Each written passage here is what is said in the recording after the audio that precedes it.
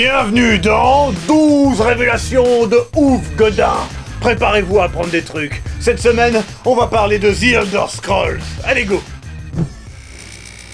Bon, je commence par cette anecdote parce que ça me saoule d'entendre plein de gens dire n'importe quoi. La fameuse phrase de Skyrim faisant référence à une flèche dans le genou n'a aucun rapport avec les vikings, le mariage ou quoi que ce soit de ce genre. C'est simplement une phrase écrite par Emile Pagliarulo, un des développeurs, pour rendre les gardes plus humains et proches du joueur. Quelque chose pour augmenter l'immersion. Mais non, jamais les vikings n'ont parlé de flèche dans le genou pour le mariage. Arrêtez de croire la moindre image sur le net et faites vos recherches.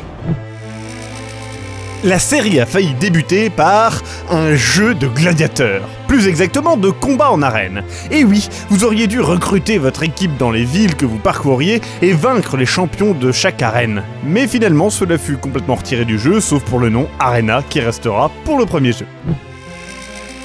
Parlons un petit peu chiffres. Le jeu de la série ayant la plus grande map est techniquement Daggerfall avec 100 000 km, même si Arena est le seul proposant de visiter le continent entier de Tamriel. Pour comparer, Skyrim est à 37 km, The Witcher 3 est à 136 km, et le dernier Zelda à 360 km, donc il y a de la marge hein, pour les 100 000. Oh, et Morrowind, quant à lui, a plus de PNJ qu'Oblivion et Skyrim combinés. Bon, très peu ne parlent aussi, hein, ça facilite les chiffres. Dans Daggerfall, vous auriez dû pouvoir faire du sesc avec les PNJ. Mais cela fut retiré, même si les textes pour ces séquences sont toujours présents dans le code du jeu. Ah, et détail amusant, vous auriez pu rejoindre la guilde des prostituées, euh, pas mal. Le lore de la série, tout son background, est très important. Et c'est quelque chose que les joueurs suivent attentivement. Eh bien apparemment, ce n'est pas forcément le cas des développeurs. Et oui, il manque un mois entier dans les calendriers de Morrowind. Le mois de prime étoile, le premier de l'année, est totalement absent. Dommage. Les musiques de la série sont mémorables et certaines sont totalement cultes, à tel point que le thème principal d'Oblivion a été utilisé dans une vidéo de propagande de la Corée du Nord.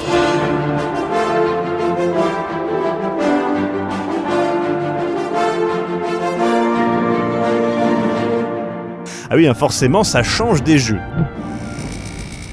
De nombreuses boutiques dans la cité impériale d'Oblivion portent le nom, dans la version originale, de restaurants du Maryland. Et oui, les membres de l'équipe ont choisi des noms de restos près de chez eux. Il existe une arène complètement supprimée de Skyrim, mais quasiment entièrement disponible dans les fichiers du jeu. Nommée The Windhelm Pit, vous auriez dû pouvoir y faire des combats de gladiateurs comme le prouvent des dialogues trouvables dans les fichiers du jeu. À l'origine, vous deviez pouvoir divorcer de votre conjoint dans Skyrim, mais cela fut retiré. Ceci dit, il reste beaucoup d'éléments présents dans le code du jeu, notamment les doublages et les textes. De plus, vous pouviez vous remarier vu qu'il y avait une option pour cela. Et tant que je parle de détails de gameplay supprimés, la guerre civile devait être beaucoup plus poussée.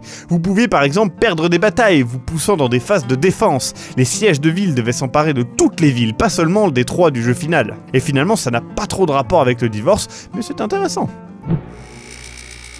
Un enfant est né lors de la sortie de Skyrim le 11 novembre 2011, et ses parents ont eu la super idée de le nommer Dovahkiin.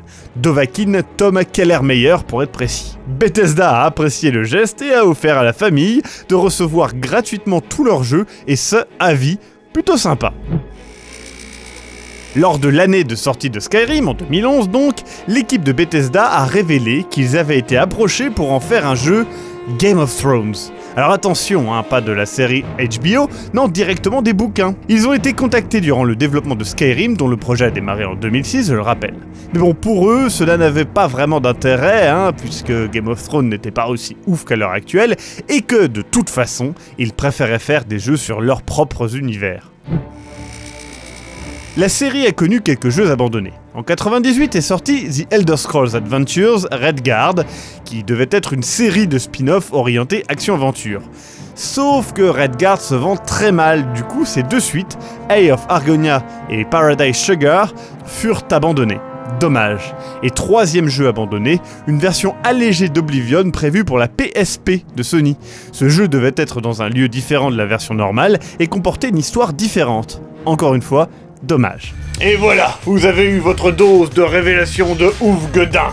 N'hésitez pas à aller découvrir la nouvelle émission que j'ai fait pour Biggie qui s'appelle 6 easter eggs extraordinaires, ce qui se résume en sexe. Le premier épisode est sur Pirates des Caraïbes et il est disponible dès maintenant, donc allez le voir.